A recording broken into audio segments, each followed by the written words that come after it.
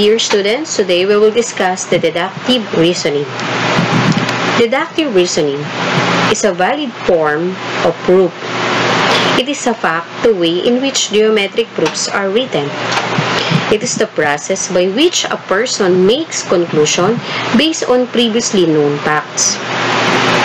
Deductive reasoning follows the laws of syllogism that is, if P implies Q and Q implies R, then P implies R. So, parts of deductive reasoning is a hypothesis. Hypothesis is the statement which is accepted or known at the beginning. And conclusion is also parts of deductive reasoning. Conclusions the statements drawn from the hypothesis. So let us have an example. If a quadrilateral has four right angles, then it is a rectangle. Why? A square has four right angles. Letter Z. A square is a rectangle. That is, P implies Q and Q implies R, then P implies R. The, arg the arguments above is an example of a syllogism wherein statement X is called a general statement, Y is called the particular statement, and Z is called the conclusion. In this syllogism, the reasoning comes from a statement about a general set to a statement about particular member or element of the set. Let us have another examples. Here are more examples of deductive reasoning. If you quit smoking, then you save your lungs.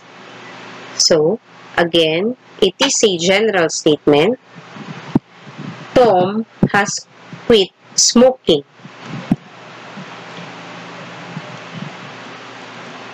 Z is Tom save his lungs. Remember, X is the general statement. And Y is a particular statement and Z is called the conclusion. Right? If you quit smoking, then you save your lungs. So, if Tom quit smoking, in conclusion, Tom, he saves his lungs. Another example. Diligent students do their homework well. Ben and Betty are diligent students. So this is the general statements and this is the particular statements. And for the conclusion, letter Z, if Ben and Betty do their homework well. So this is the conclusion. Another examples. Coplanar points are points on the same plane. So this is the general statement. X, Y, Z are coplanar. This is a particular statement. And, and for conclusions, X, Y, Z are on the same plane. Did you get it? Another examples. Filipinos are a peace-loving, a general statement, and then a particular statement. Julia is a Filipino. For the conclusion, Julia is a peace-loving people.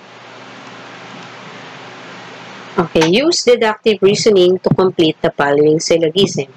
Number one, for the general statement, most Chinese are good in math.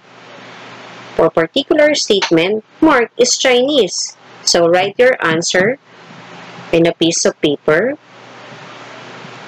Number two, right angles are congruent. For the general statements, for the particular statements, angles A and B are right angles. And for the conclusion, write your answer. Number 3. Senators are lawmakers.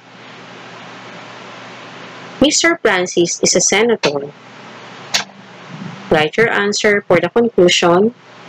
And number 4, a regular polygon is equilateral. Belen is a regular pentagon. Write your answer for the conclusion and we will check your answer. So for letter Z, number 1, Mark is good in math. Number 2, angles A and B are congruent. Number 3, Mr. Francis is a lawmaker. And number 4, Belen is a equilateral. Thanks for watching.